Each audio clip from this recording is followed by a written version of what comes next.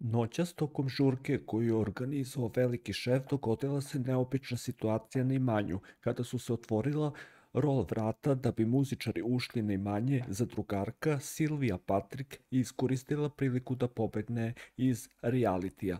Veliki šef je poslao pismo na adresu Bele kući i saopštio da je Silvija zvanično diskvalifikovana iz elite. Draga elito, ovi vas obaveštavamo da Silvija Patrik diskvalifikovana.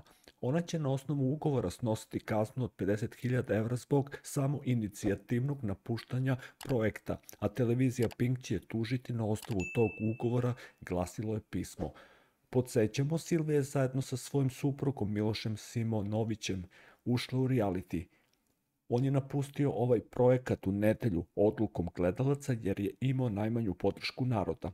Silvija nije mogla da podnese razdvojenost od supruga i da bez njega boravi na imanju, pa je noćas samo inicijativno napustila reality. Nakon što je izašla iz elite, Silvija se oglasila putem Instagrama, prvo je podelila zajedničku fotografiju sa suprugom, a potom objavila i snimak njenog bekstva sa imanja. Pobegla izašla kao gospođa, sloboda je neprocenjiva hvala univerzumu, anđelima i Bogu, napisala je Silvija.